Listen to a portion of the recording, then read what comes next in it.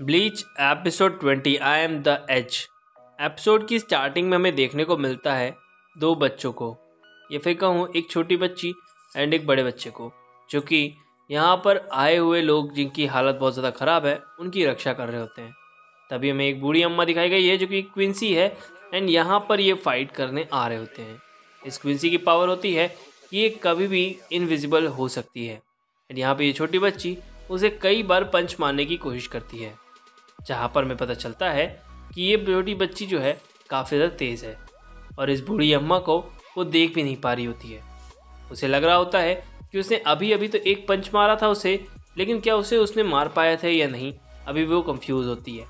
तब हमें उसी बूढ़ी औरत का एक फेस दिखाया जाता है। या फिर कहूँ उसकी बॉडी को, जो कि एक जगह से दूसरी जगह काफ़ी इजीली जा पा रही होती है। वहीं पर पीछे खड़ा लड़का ये भी कह रहा होता है कि तुम कर लोगी, मुझे भरोसा है तुम पर। जिस पर वो छोटी लड़की कहती है कि मुझे कोई भरोसा नहीं हो रहा कि मैं उसे मार पाई या नहीं, क्योंकि उसे विश्वास ही नहीं होता कि उसके पंच उस पर काम कर रहे हैं या नहीं। तभी वो अपने स्वॉर्ड को बाहर निकालती है। एंड अकी बार वो फाइट करना स्टार्ट करती है। एंड इस फाइट में वो उसे सुर्पनखा बना देती है। मतलब वो छोटी बच्ची जो होती है, वो क्विंसी की सुर्पनखा बना देती है। अब हमें पता चलता है कि इसने अपनी बंकाई पावर का यूज़ किया था एंड यहाँ पे वो उसे सैनपू नाम से बुलाती है। खैर एक चीज़ और देखने को मिलती है कि इसकी स्वॉर्ड जो है बिल्कुल भी चेंज नहीं होती है एंड इसके बाद ये लोग फाइट कर रहे होते हैं, जहाँ पर इस लड़की की पावर काफ़ी ज़्यादा अच्छी है, जिस चीज़ को देखकर ये लड़का भी काफ़ी ज़्यादा शौक में होता है एंड अब वो दो घोस्ट को ताली बजाती है एंड ये उसका होता है जेन पाखातू जो भी नाम है इसका। वहीं पर हमें देखने को मिलता है जिस पर ये लड़का काफ़ी ज़्यादा शौक में होता है वो कहता है कि मुझे लगता था कि शिकाकाई एग्जिस्ट ही नहीं करते वहीं पर ये बंदी काफ़ी ज़्यादा परेशान हो जाती है क्योंकि इसे बीच से फाड़ दिया गया था ये लड़की थोड़ी सी कंफ्यूज होती है। क्योंकि पीछे खड़ा एक व्यक्ति उसे बोलता है कि तुम तो हार चुकी हो। एंड ये कहने के बाद सभी लोग की नज़र जाती है पीछे की तरफ़, जहाँ पर हमें एक लड़के को दिखाया गया है। एंड ये बूढ़ी औरत उसे कहती है कि, नो वे, आप यहाँ पर कैसे? जिस पर वो कहती कि, तुम्हें पता है कि मैंने ही तुम्हें इमेजिनेशन से क्रिएट कर सकता हूँ। और तुम्हारे साथ मैं कुछ भी कर सकता हूँ अपने इमेजिनेशन पावर से। मेरा दिमाग और मेरी मेमोरी काफ़ी ज़्यादा स्ट्रॉन्ग है। मैं तुम्हारे हर एक मूवमेंट को जान सकता हूँ और देख सकता हूँ कि तुम नेक्स्ट मूव क्या ही करोगी। तभी वहाँ पर वो लड़का सन्न सा खड़ा से देखता ही रह जाता है, क्योंकि ये व्यक्ति किसी भी सुरक्षा कवच को भेज सकता है और वहाँ से वो क्रीचर बाहर की तरफ़ आता है। इसे देखकर काफ़ी ज़्यादा शौक लगता है। एंड ये लड़की छोटी बच्ची जो होती है, उसे मारने के लिए जैसे ही जाती है तो उसका हाथ ही टूट जाता है सिर्फ़ एकमात्र इसके सोचने से। यानी कि इसकी एक नेचुरल एबिलिटी जो कि इसके हाथ को मोड़ देती है सिर्फ़ इसके सोचने बस की वजह एंड ये खुद को द विजनरी नाम से बुलाता है। एंड हम अभी खुद भी इसे एक विजनरी नाम से बुलाएँगे जहाँ पर ये लड़की काफ़ी ज़्यादा शौक में होती है। तभी यहाँ पर हमें देखने को मिलता है जारा की जराकी जाकाराकी जो भी नाम है इसका। खैर यहाँ पर उस छोटी बच्ची को कैनी को वापस जाने के लिए बोलता है एंड कैप्टन वहाँ पर आते हैं फाइट करने के लिए. जिस पर वो कहते हैं कि, अब तुम्हारे बीच और हमारे बीच में फ़ाइट होगी. वहीं पर वो उसे कहता है कि, जो भी लोग हैं, यहाँ से उन्हें बचा के रखो। मैं जाता हूँ इस बंदे से फ़ाइट करना। और ये कहकर वो वहाँ से निकल जाते हैं। अभी हमें देखने को मिलता है, वहीं पर हमें दिखाया गया द विजनरी को, जो कि ज़ारा रकी के सामने खड़ा होता है एंड वो कहता है कि, तुम मुझे काफ़ी ज़्यादा स्ट्रांग लगते हो। लेकिन तुम बस मेरी एक इमेजिनेशन के सामने खड़े हो और कुछ भी नहीं। मेरे बस सोचने मात्र से ही तुम मारे जा सकते हो और इस चीज़ को वो कैप्टन जारा के सामने कह रहा होता है। कैप्टन काफ़ी ध्यान से उसकी बातों को सुनता है और वो कहता है कि ये सब किस लिए? चलो हम कहीं दूर फाइट करें। एंड तभी वो बंदा अपनी बॉडी से आई I मीन mean, अपने सिर्फ़ सोचने की ताकत से उस पूरी जगह को हवा में उठा लेता है। या फिर कहूँ आसपास की पूरे एरिया को एक छोटा सा मंच बना देता है, लेकिन काफ़ी बड़ा लेवल पे। तभी कैप्टन उसके कंधे को फाड़ देते हैं बीच से, और उसका शरीर वहीं से कट जाता है। इस चीज़ को सोच कर वो काफ़ी शौक में होता है कि उसकी बॉडी एक स्टील से भी ज़्यादा मज़बूत थी, और उस व्यक्ति ने उसे बीच से फाड़ दिया, जैसे कि वो कभी कुछ था ही नहीं। ये सब कुछ देखते हुए भी वो घबराता नहीं है वो व्यक्ति, यानी कि the visionary and captain Zara के सामने खड़ा होता है। कैप्टन की आँखों में बिल्कुल खून उतर आया है जैसे वो मारने के और मरने के लिए बिल्कुल तैयार बैठे हैं। उनकी स्वॉर्ड भी दिखाई गई है। सभी लोग इस चीज़ को देखते हैं कि वो कैप्टन जारा की हैं एंड इस बात से वो सभी लोग काफ़ी ज़्यादा खुश होते हैं क्योंकि उनका जो स्पिरिचुअल प्रेशर होता है वो बहुत ज़्यादा होता है एंड कैप्टन भी उनकी तरफ़ देखते हैं।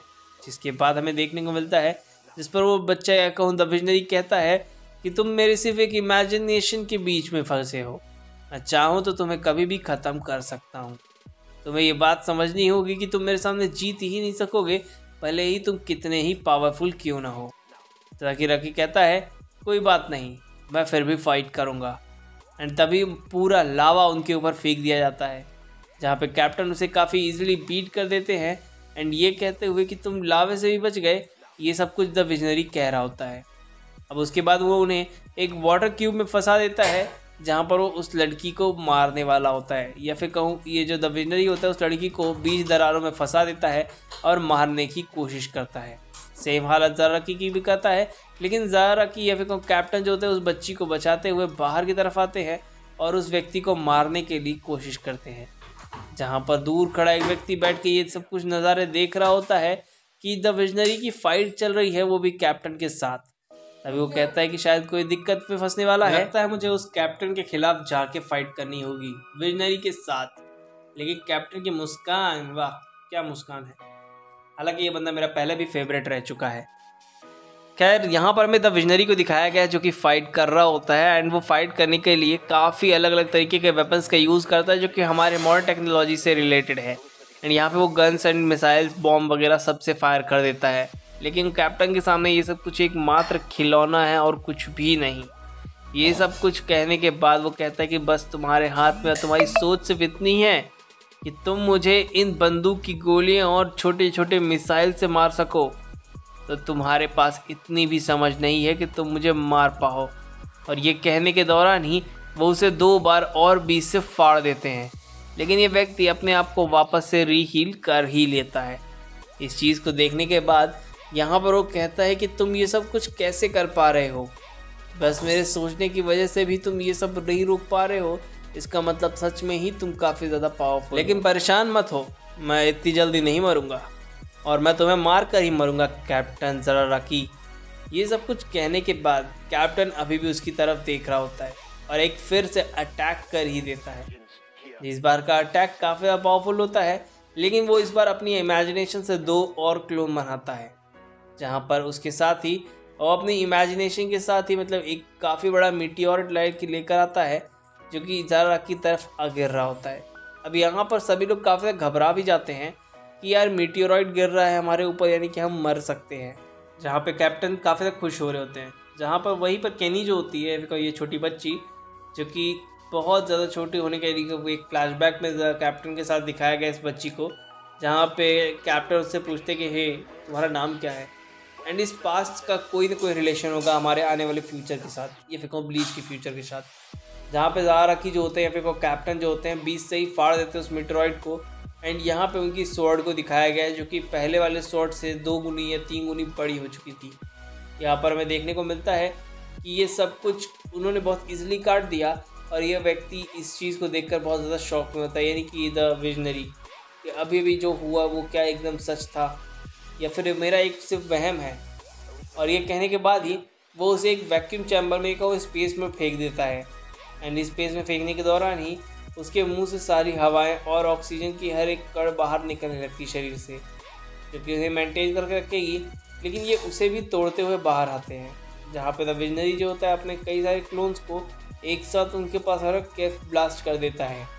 और वहीं पे जारा की जो होता है वो फिर भी उसे कुछ नहीं होता है कैप्टन जहाँ पे द विजनरी जो होता है अपने शरीर को बड़ा करके फाइट करने के लिए जाता है, सो ये सोच कर कि वो उससे फाइट में जीत जाएगा।